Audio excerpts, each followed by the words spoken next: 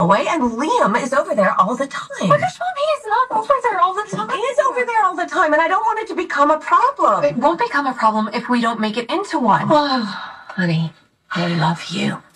I do. I admire you. You have a huge heart. But sometimes I just want you to be realistic. Steffy and Taylor, they have a way of invoking sympathy. I mean, you saw it, the way they got Ridge to move onto the property, even though it was only temporary.